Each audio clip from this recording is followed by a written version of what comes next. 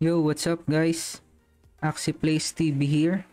So for today's video guys, um, nag-decide tayo na gumawa ng guide no para sa mga bago or newbie na gustong mag-start no sa paglalaro sa Axie Infinity.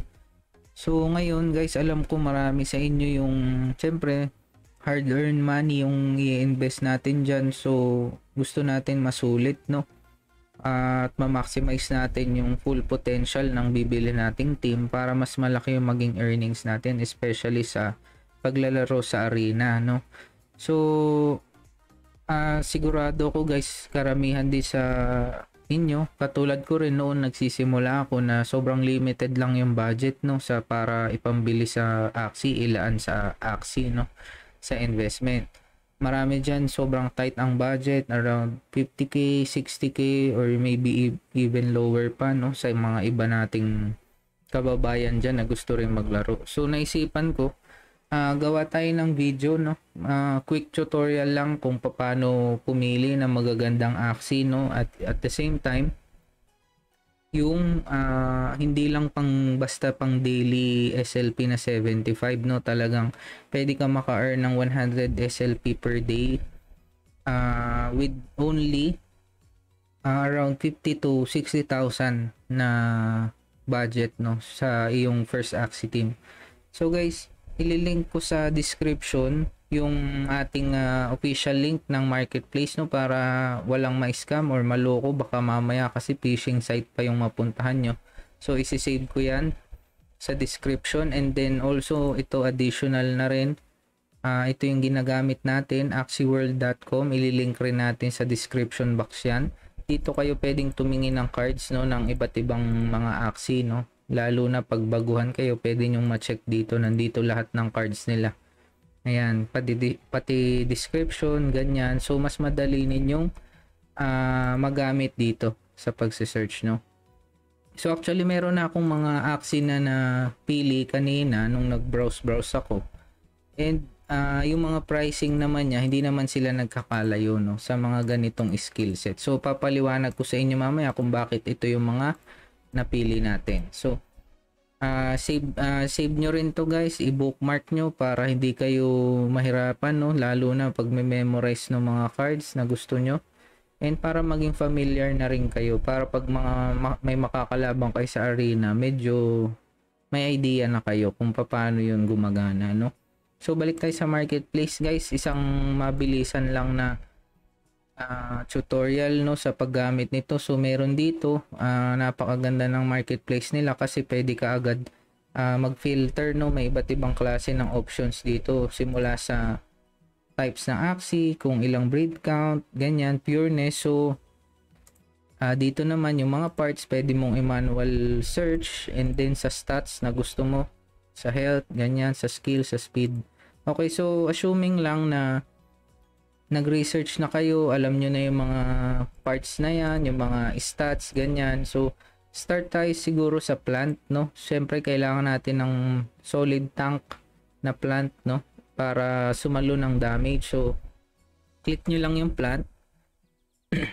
uh, dito sa breed count, di na natin gagalawin yan since hindi naman breeding ang ating purpose and hindi rin tayo naghahanap ng pure, no? So, meron tayong gustong mga parts ng ng Axie na uh, hindi naman sa para sa plant. So, okay lang 'yan, wag niyo nang galawin. So, sa parts, ang masasuggest ko, ang lagi nyong kukunin kapag uh, tank na plant, kunin nyo yung October treat for high defense, no? Para lalo sa early game, mapapakinabangan nyo yan. Yung October treat card na ano guys, uh, ito siya ito pumpkin. Yan yon pumpkin ang name niya sa uh, marketplace October 3 so draw a card. If this axis shield doesn't break this round. So pagka nag-activate ka nito meron kang high shield for just one energy. And pag hindi niya nabasag yung shield mo makakadraw ka pa ng card okay? So sobrang importante niyan sa early game para hindi agad mamatay yung tank mo no? Mas marami siyang masalong damage since possible na makabunot ka ng dalawang October treat no so much better kung ganun yung draw mo so ang sunod na part yung serious guys bakit serious Kasi ito yung may pang steal ng energy no para sa early round. So yan yung magbibigay sa iyo ng early advantage. Huwag ka nag-skip siya tapos naka-serious ka and then kinombohan mo ng isang card. Uh, doon siya lalabas, no? Doon yung effect niya. Ulitin natin ah. Parang hindi nag-search.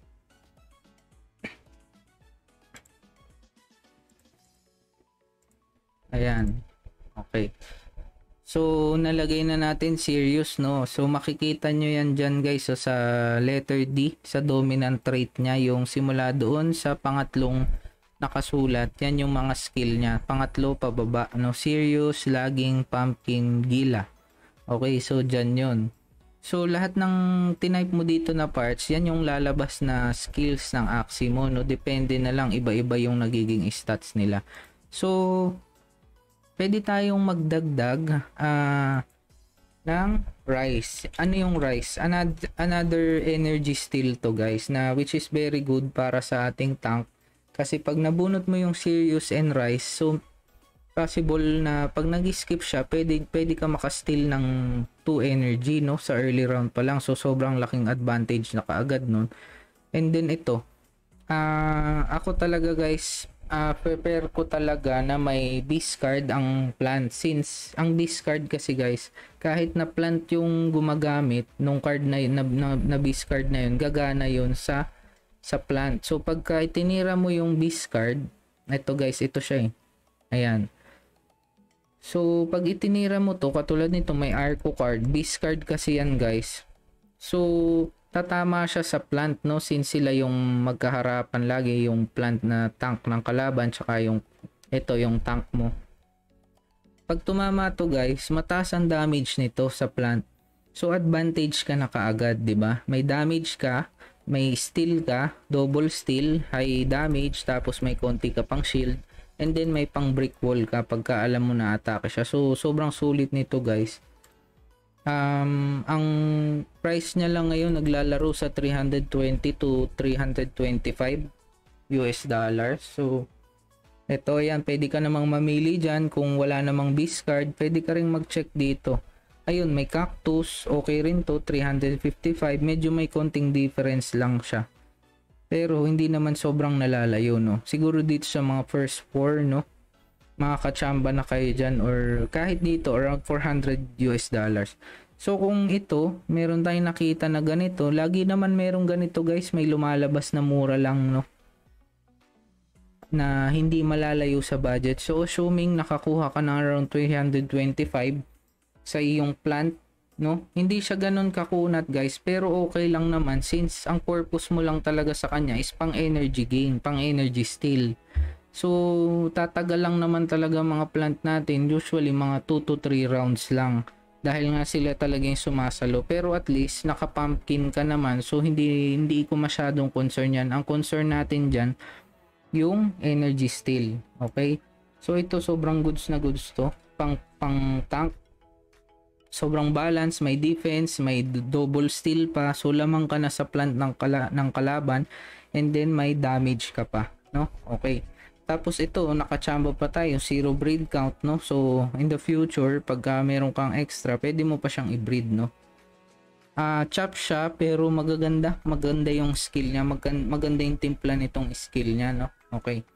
So, proceed tayo sa next natin. Um, kasi guys, uh, kung napapansin nyo sa arena, dumami na yung mga naggumagamit or mga nakabili ng Terminator kung tawagin. Pakita ko lang sa inyo saglit yung Terminator guys ha. Uh, kung hindi, yung mga hindi pa familiar no. Ito yung skills nila. Wait lang ha. Check natin. Allergic, lagging, and snail shell. Ayan, yan yun guys yan yung mga nakikita nyo sa arena na sobrang hirap patayin katulad nito guys ha. Check natin yung skills nila para maging familiar na rin kayo. Ayan. Ito yung tinatawag na Terminator guys. Reptile ito, reptile. So, uh, naglalaro siya sa almost 500 US dollars no. Ang isa. At hindi pa ito virgin no. Uh, medyo mataas na rin yung breed count niya. Ngayon, pagka meron kayong nakakalaban na ganito at malamang Ah, nakikita nyo na rin to sa mga streamer, ganyan, sa YouTube, no? Kung magsisimula pa lang kayo, ito, maganda talaga ito kung ma-afford ninyo ito. Yun nga lang, napakamahal niya, no? Pricey talaga sa ngayon kasi ito yung nasa nasa meta siya, sabihin na natin, kasi nga malakas siya. Malakas siya versus Bird and Aqua. And actually, sobrang ano niya, medyo talagang mahirap siyang labanan, no? Kasi ang nangyayari dito, dito pa lang sa snail shell guys, one energy lang to, high shield to. So, ang effect nito, pag, na, pag inatake mo to, na naka-activate to, at nabasag mo yung shield niya, that round, may stun ka.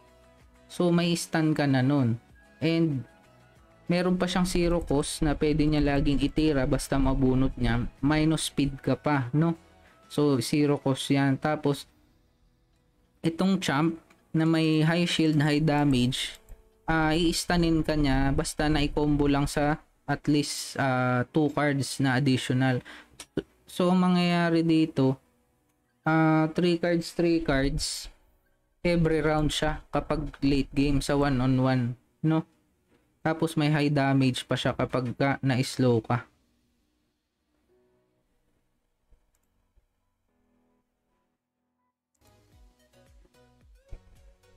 Okay, so uh, ito, kaya natin binabanggit to sa video ngayon kasi ito yung madalas na nakakalaban ng mga nasa uh, arena no? Lalo na pag medyo nasa gitna ka gusto mong umangat no? From 1200 gusto mo umangat sa 1314 medyo pagka umabot ka na ng 13 or 14 makasagupa ka na ng ganito no? Ng Terminator. So, so napakahirap patayin nito guys. Kaya sa video na to, nilagyan na rin natin ang pang-counter dito no para at least yung 50k budget nyo, hindi nyo man, naman masasabi na sobrang cheap or pang low MMR lang siya kasi kaya nyo pumalag dito. Yun ang maganda dito sa build natin. So, kinonsider ko na rin yan since maraming ang marami talagang ano eh kumbaga nakaharang to si sa pagangat mo ng MMR nakaharang tong ganito nagkalat ito sa mga mid ano mid midpoint sa MMR. Mga around 1.3, 1.4 yan may makakalabang ka na niya mga naka-terminator no. So ang napili ko rito since okay na tayo sa plant, yan maganda na yan pang tangke natin. Kumuha tayo ng beast kasi guys uh, ang beast malakas siya sa reptile no, sa reptile, sa plants at sa dust. So, kumuha tayo ng beast. Ngayon, anong magandang mga parts ba ng beast? Uh, since sa arena guys, yung reptile na yan kasi usually madalas talaga yan nasa likuran. So kailangan maabot mo siya kaagad guys para mabawasan mo siya or much better kung mapapatay mo siya no. So kailangan mo ng backdoor. Ngayon, lagyan natin ng backdoor yung beast mo no, yung toothless bite sneaky raid. So ito yan guys, pakita ko lang sa inyo. Reptile card siya na uh, mouth ata ito. Oo nga ito Ayan, target the furthest enemy. So, okay siya no, may mag, malit na damage pero mataas yung shield niya, 40. So, sulit itong card na ito. So, target the furthest enemy, ibig sabihin kung sino yung nasa pinakadulo na axe niya, yun yung titirahin nitong uh, nitong beast mo. So, usually nasa likuran to, pwede mo siyang talunin agad pagka meron ka nito sa beast mo. So, lagyan lang natin siya ng pang energy gain tsaka critical. Since ito yung pinakang budget build ngayon, no? Kasi kung mag uh, papalitan mo to ng Siners, Sinister Strike or ito yung, yun nga yung tawag dito, yung Dual Blade. Ah, ito yan. Ito talaga yung maganda sana dyan. Pero since nga medyo tight tayo sa budget, so ginawa natin ng ibang parts, no? Pwede tayo magganyan tapos not throw, no? Para may pang damage ka talaga. So ayan, tingnan nyo guys yung pricing niya ngayon no. So nasa 324 lang siya mahigit no. Wait lang ha, i ulitin natin baka para lumabas yung ano. Ayun. Ito. Ayan, yan yan yung mga skills niya tapos ang price niya nasa 324, 326 makakakuha ka na and mabilis na rin siya guys ha Kasi makaramihan, pag medyo 1.4, 1.5, ganyan, 1.6, medyo mababagal pa naman yung mga Terminator. Yung speed nila. Ito katulad nito, 37 speed. So mabagal siya. So talagang mauuna at mauuna ka dyan. So ngayon, pag nakumpleto mo guys yan, ito, ito yung napili natin. Ayan, ay hindi ito, ito, ito. Ayan, 335, no? US dollars, no? Ang price niya. So, sobrang ganda na nito para sa price niya. Napakamura na nito guys. 41 speed, no? Tapos almost pure siya. Dito lang talaga tayo sa toothless bite. So, ang maganda rito, pag nabunot mo to guys, siguro mga mid-game, makakatalon ka na or uh, siguro as early as second round or siguro mga third round, kaya mo nang talunin yung, yung Terminator niya na nasa likod. So, ang tendency, uh, round 2 or round 3 pa lang, pag nakumpleto mo tong apat na card na to, or kahit dalawang Ronin, uh, isang Nutcrack, or dalawang Nutcrack, isang Ronin, tapos ito, mababackdoor mo siya, possible mo agad ma- mapatay to. Um, pwede mo siyang mapatay or pwedeng ma- mapulado mo siya. Pero tingin ko patay to guys eh, pagka hindi siya naka-ready, no? Bawa hindi siya tumira, ay ba, ba plant niya yung tumira o yung midline niya at tinamaan mo siya nito nang wala siyang shield, no? So dalawang Ronin pa lang, isang Nutcrack, almost 200 is 200 damage ang bawas nito, 174, 184 or double Nutcrack na 165, 165 tapos one, almost 200. Patayan guys. So ano ka na? Na na sure mo na. And then at the, at the same time pwede mo pang pwede ka mag single combat isang ivory stab para may gain energy ka pa tapos isang natro then yung basta laging iuunan nyo lang guys to yung toothless bite yung sneaky raid pagka backdoor kayo para gumana yung effect nya and then tsaka nyo isusunod yung mga follow up cards. So guys 50k budget no?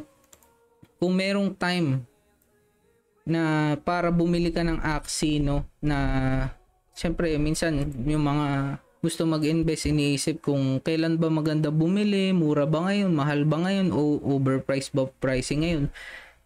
Kung mag invest ka guys sa Axie, ngayon yung pinakamagandang time kasi sobrang baba ngayon ng bentahan ng mga Axie, no?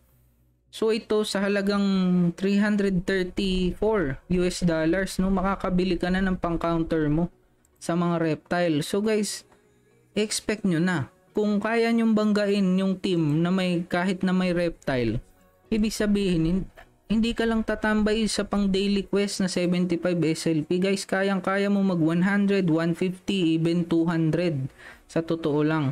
Ako sa totoo lang wala pa akong ganitong beast. Uh, pero talagang gusto ko rin maka-avail nito para nga meron tayo at least may pang counter tayo sa mga reptile no kasi guys pagka tumungtong ka sa mga 1.4 yan pataas na MMR marami ka na makakasagupa dyan. Double reptile do, uh, triple reptile or plant tapos double reptile no? So pagka may beast ka lamang ka na kaagad. Tapos may backdoor ka pa. So sobrang ganda nitong team na mabubuo mo at sobrang baba ng budget mo no? 50k tapos kumpara mo dito sa mga bumili ng Terminator na napakamahal no 500 US dollars. Guys, magkano yan? 497. Kung sa 50 pesos na lang, 25k.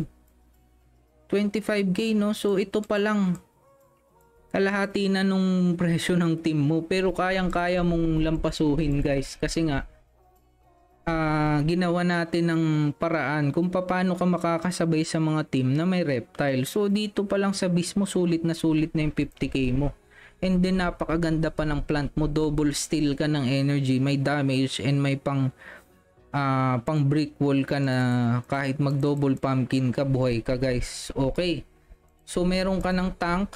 Ito ito yung magiging midline natin midliner. Pwede rin naman siyang backliner pero meron pa akong isang uh, binuo no na build na isa yung last axis natin na sa tingin ko ito yung maganda mong gamitin sa backline Okay, ito naman reptile naman guys. So ito kasing guide na to uh, guys, talagang inisip ko kung paano nyo mamamaximize yung 50k nyo kasi syempre alam ko eh alam ko guys yung pakiramdam nyo na uh, ang laking pera ganyan hindi naman lahat tayo syempre sobra sobra pero malakas loob natin gusto natin mag-invest gusto nating palawakin yung ating source of income di ba so alam ko yung feeling na gusto mo sulit at talaga namang may enjoy mo at masasabi mo na sulit na sulit at solid yung nabili mo na team No, hindi pipitsugin. Hindi siya basta chops, guys, ha. Iba ang chops. Para sa akin, iba yung chops. Chops lang sa hybrid na may synergy yung skills na na nilagay mo, guys. So, sa reptile naman, ah, uh, bakit tayo maglalagay ng reptile sa team natin? 'Di ba meron na tayong plant. No, may tank na tayo, may midliner tayo na beast. Yung plant natin, siya ay pang brick wall, pang tank, and pang energy steel. And then yung yung beast natin, pangontra siya sa, ayan, pang damage mo, pang easy kill mo sa plant ng kalaban, and may pang backdoor ka anytime na may reptile kang kalaban. So, anong kahinaan mo ngayon? So, kung ikaw ay may plant tapos may beast ka, ang kahinaan mo mga bird at saka aqua kasi so, 3 cards lang ang ang beast patay na to sa mga aqua no so yun yung medyo napuprostrate yung iba nating mga players no sabihin na sobrang dahil ng aqua ang bilis nila masyado, na na-outplay kayo, ganyan. Tapos medyo makunat, mabilis, tapos high damage, 3 cards lang si Beast, patay na kasi low HP lang naman to. Since kahinaan nga niya yung mga Aqua and Bird. Pero guys, wag kayong magalala kasi gin- kinonsider ko na rin yan kung yung reptile nga inisipan natin ng pang counter ba yung mga aqua at bird pa kaya mas madali nating counterin yan So ito, reptile lang solusyon dyan. Kapag uh, gusto nyong tapatan yung backliner na pag may nakalabang kayo na may aqua or bird na sobrang sakit no, mag-reptile kayo and then ito yung masasuggest ko na skill. Unang-una yung green thorn. Green thorn kasi guys, uh, ito yan. Pakita ko na rin sa inyo kung ano ba yan, bakit natin gusto yan. Alam ko back siya eh. Ito ngayon, ito reptile card na zero cost siya guys. May 20 damage, 30 shield. Pero ang kagandahan dito, madodouble yung shield mo kapag kinombo mo sa uh, with the plant card. Okay. So, dapat may plant card ka na isa sa bubuin mo na reptile, no? Para gumana yung effect niya. Okay. Uh, nasa na ba yun? Tingnan natin dito guys ah. So, ang isa pang sa tingin ko maganda kasi itong green thorn guys uh, pinili ko siya pwede naman natin siyang palitan siguro ito uh, itong bulwark uh, backwark tapos sleeper shield or ito pero ito kasi zero cost eh kaya maganda rin naman siya pero pwede pa naman natin siya palitan if ever na wala tayong makukuha na reptile na may plant no? Uh, pwede rin ito. Ay Burichap pero maganda kasi ito eh. Pag, ma- pag makakahanap tayo. So kailangan kung ito ang zero card natin kailangan meron tayong plant card na makukuha. So doon muna tayo sa isa. Siguro si Rastes sa tingin ko. Yung si Rastes. Ang si Rastes naman guys ito yan. Uh, ang alam ko horn card yan. Ayan. So high shield yan guys tapos high damage. Bakit high damage? Kasi 'di ba guys usually kapag ka mga aqua at bird mabibilis yan. So ang effect nitong card na to deal 130% damage if target is faster than this axis. So kapag nakasirastes ka ibig sabihin gagana to sa mga bird at aqua. So ang taas ng damage mo niyan. Hindi lang 80 yan umaabot yan sa mga aqua ng alam ko 140 150 tapos, may shield ka pa na napakataas. So kung magdo-double si Rastes ka, 120 shield tapos almost 300 damage yung kaya mong ibato sa bird at aqua. Na alam naman natin, lalo na pag bird, eh baka 2 cards lang, patay na yan. Or last stand na siya, di ba? So napakaganda niyan. So ayan, uh, Green Thorn, yung Bind Dagger at saka si Rastes, uh, pili tayo dito. Actually, ito napili ko siya. Yun nga lang, medyo hindi gagana yung effect ng green thorns kasi kailangan meron tayong plant card. So, pwede pa naman tayo magtingin-tingin dito ng iba na may plant card na kasama, no? Ayan. Marami dito guys. So ngayon kung medyo nasa budget ka lang no, pwede ka na rin mag-settle dito. Ito, maganda na rin to guys, si 330, 350. Um, ito, catfish, maganda rin to kasi magkakaroon ka ng lifesteal, no? And then, ito, nutcrack, pang damage. So, ito. Ito, ito yung isa kong napili, guys, na hindi mag-activate itong bind dagger na magiging double yung shield pero still zero card zero cost pa rin yan pero kasi ito, meron siyang pincer. Ano ba yung pincer? Randomly discard one card from your enemy's hand. So, nagustuhan ko siya kasi dalawa yung zero cost mo. And then, syempre, pag one on one, 2 energy ka lang, di ba madalas kung hindi ka nakapag-ipon. So, siguradong matitira mo tong dalawa na ito and then mapapalo upan mo nito. Ang maganda rito, early game pa lang, pag nakabunot ka na nitong pincer, pwede mo nang ipanggulo agad to sa kalaban guys. Kasi magdidis zero cost yan. Tapos mababawasan mo siya ng card. So napakalaking advantage niyan. And then sa late game, meron ka pa nitong uh, additional damage and maliit na shield. Pero high shield ka na rin kasi. And then pinili ko rin ito kasi meron siyang ball gecko, yung critical escape. 90 damage, 10 shield lang pero ang effect niya, reduce damage taken by 15% this round. So kung dalawang critical escape ang ginamit mo and then siguro isang green thorn or isang pincer, ah uh, basta nagdalawang card ka nito or kahit isang card, basta every critical escape 15%. So kung dalawa, 30% damage reduction ang makukuha mo. Tapos may high shield ka pa. So sobrang kunat nito. Ayun, tama nga yung nakalagay Aqua Bird Destroyer kasi talagang hindi kakayanin to ng kahit anong aqua or bird unless meron sila yung card na double talk.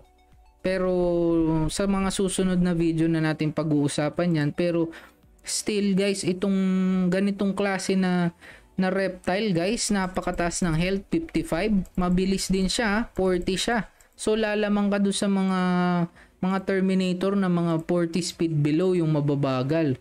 So, medyo hybrid count na siya pero napakamura niya guys. So, 352 US dollar. So, na-solve na natin dahil dito sa sa reptile na to, na-solve na natin yung problema natin versus aqua.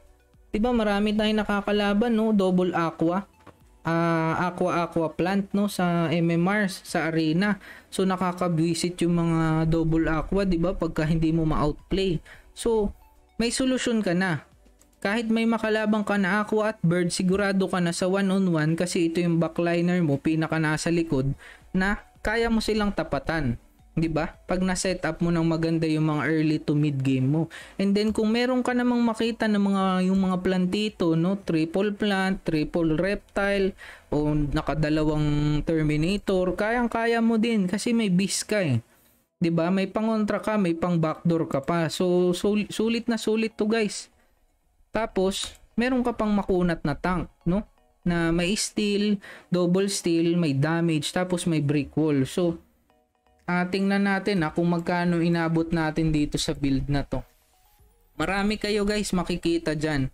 Pwede kayo magpalit ng mga cards, depende sa inyo. Halimbawa guys, ito ah, Green Thorns. Uh, pwede nyo sabihin na ay hindi siya gagana effect, parang ayoko niyan, gusto kong palitan. Pwede uh, hanap kayo since ito ay back card to.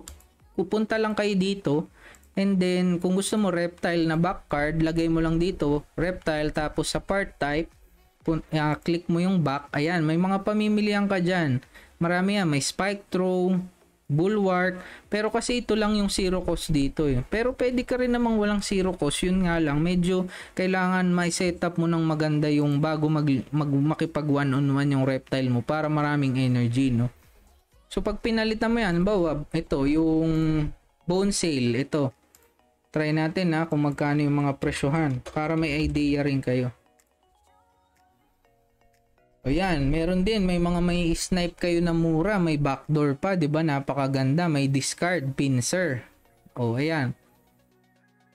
Medyo mahal na itong bone sale. So kapag ganito, medyo hindi nyo afford na yung pricing niya, pwede nyo palitan. Hanap kayo ng ibang part. O, oh, halimbawa ito, ah, uh, bulk work. O, oh, try natin.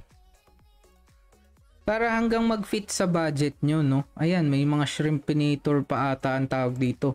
So, ganun lang. I-try nyo lang nang i-try. Kung ayaw nyo naman ng reptile part, pwede kayo sa bug, bug part. O ayan, makakapamili kayo dyan. Pwedeng snail shell, garish worm, uh, bug splat, iba-iba. Marami tayo dyan. So, importante talaga tong axiworld.com, no? Para at least ma-maximize nyo yung budget nyo sa gusto nyo. Halimbawa, by the time na bibili kayo, um, itong naka green thorn na tapos may plant card may nahanap kayo kaso medyo mahal or nagba medyo nagbago yung price madali nyo mapapalitan 'di ba ita-type nyo lang diyan hanap kayo dito halimbawa uh, ano yun eh kailangan ko ng mouth card so mouth card click mo lang dito mouth and then mamili ka ayan sa aqua yan yung mga available na mouth card sa beast ito sa plant. Ayan, isa-isahin mo lang guys. So ma, ma magagamay nyo rin tong marketplace. So, yun lang guys, yun lang ang gusto kong ituro sa inyo for today na hindi nyo kailangan, lalo na yung mga newbie no, nag-uumpisa pa lang, mag-uumpisa, gustong gusto na makapag-umpisa sa Axie. Wala silang pambili no, dun sa mga sellers na over 60k, 70k, 80, even 100k na, na, na pricing ng Axie no na hindi talaga ma-afford kahit gustuhin. So dito sa marketplace, nandito guys, kung merong time na maganda bumili ng Axie team ngayon, this is the time guys. Pwede na kayo, pwede na kayong pumasok at masasabi nyo sa sarili nyo na yung 50k budget nyo, sobrang nasulit nyo dito lang sa kasi guys, itong build na to, talagang binalance ko siya, no? Based sa aking experience, hindi naman ako sobrang high MMR guys. Nasa 1.6 lang ako nakatambay, 1,600. Pero yun yung mga nakita ko na katulad ko, kapag ka medyo may mga double reptile, dun hirap yung team ko since double aqua yung, yung team ko, AAP tayo. So ngayon, Nisip ko, paano pagka 50k nga yung budget mo tapos parang meron ka rin naman na team na hindi mo kayang palagan sabayan kasi pagka nakaharap ka ng reptile, magtatatalo ka na lalo na pag Terminator. So sayang. So inisip ko, mas mabuti maglagay tayo ng beast tapos may backdoor. So mayroon ka agad threat sa mga naka-reptile na Terminator. Ngayon, kung double aqua naman yan, kakainin niya ng back ng backline mo na reptile, no? So, sinolve na natin dito yung mga mga possible na team na ma-encounter mo. Syempre, hindi ka naman 100% mananalo. Guys, tatandaan nyo lagi, kahit ano pang gamit nyong team, kaya nyo magpangat ng MMR. Practice lang sa pagbibilang ng energy, monitor ng cards ng kalaban. And syempre, ano na rin, konting swertihan na rin sa mga pagbunot ng card at saka sa pag-predict, no? Yun namang prediction ng pagbitaw ng card ng kalaban, makakasanayan nyo rin yan pagka mas matagal na kayo naglalaro. So ayun guys, try natin computein na. Ito 300 uh, 321 sabihin na natin US dollars plus yung ito yung plant natin. Yung beast natin sabihin mo na 334 US dollars. Tapos yung ating backliner na 350 US dollars. So ayan, 1,005 dollars. Kunwari lang sa 50 pesos kung papapalit natin yan in peso, ayun. More or less 50,000 guys ang kailangan mo. Kung magdagdag ka man, magdadagdag ka lang siguro dyan ng mga pang Binance fee kung bibili ka ng Ethereum, no? Siguro yung mga gas mo, hindi ko lang sure, naglalaro ata sa 1.5 to 2K ang gas fee. So, uh, more or less 50k lang, 50 to 52 or 53,000. Sobrang sagad na 'yon. Makakabili ka na dito sa marketplace. Maraming tutorial dyan guys dito sa YouTube. Marami kayong mapapanood kung paano maglagay ng Ethereum sa inyong mga Ronin, no? Okay. So hanggang dito na lang guys. Sana may natutunan kayo uh, itong mga binigay ko sa inyo na team, hindi nyo kailangan gayahin ng saktong-sakto ito. Binigyan ko lang kayo ng idea kung paano nyo bubuuin yung first ever team nyo sa base sa inyong budget, no? lalo na sa mga tight budget dyan. And at the same time, masasabi nyo na sulit. As in sulit, kaya, nyang, kaya nyo mag-climb ng higher MMR na hindi kayo sobrang gumastos, no?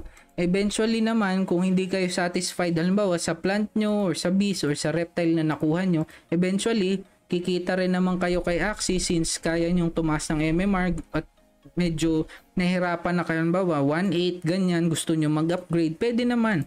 Bumili kayo ng panibago no? Palitan nyo yung plant nyo palitan nyo yung beast or yung reptile kuha kayo ng mas maganda. Pero ang bottom line nakapagsimula ka ng super sulit solid na team at wala kang panghihinayangan dito sa ganitong build no? So ito ay plant Beast Reptile RBP naka RBP ka rin dito pero sobrang balance nitong team na to. Kayang-kayang pumalag kahit anong team pa yan no? So yun lang guys. Sana uh, may natutunan kayo dito sa video natin no? Sana uh, makabili na rin kayo ng mga aksi nyo lahat ng mga gustong makapag-invest dyan sana sana matuloy na kayo and sana maging worth it yung pagbili nyo ng aksi ninyo no And uh, mag-ingat, mag-ingat kayo sa mga scam, phishing site, no? Always register lang and mag-open ng link sa mga trusted sites, no? Wag na wag kayo magbubukas ng mga medyo sketchy na website. Okay, so hanggang dito na lang guys. Uh, please like, share, and subscribe. Sana marami kayong natutunan and see you on my next video. Thank you. Take care guys.